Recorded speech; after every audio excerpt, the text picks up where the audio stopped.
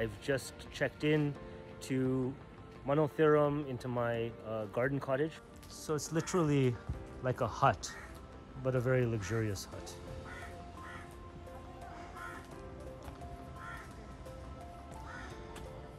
So this is a 360 view of the garden cottage at Manaltheeram. It's in the traditional Kerala style architecture, octagonal shaped. I've got AC up there. I've got a fan above the bed. I got a mosquito net, that's key.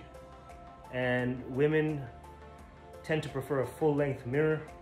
I don't particularly care for it, but it's cool anyways. And a desk to do your work and a decent sized bathroom. And the shower is in behind here. We've got an electronic safe there and um, we've got wardrobe space.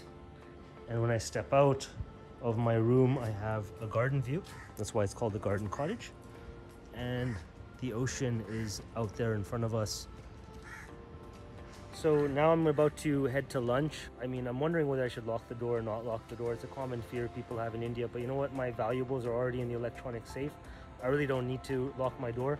So, um, you know what? Let's just leave it open today and see what happens. So I'm taking the key and as you can see in behind me, the door is open and we'll just leave it that way, not a big deal.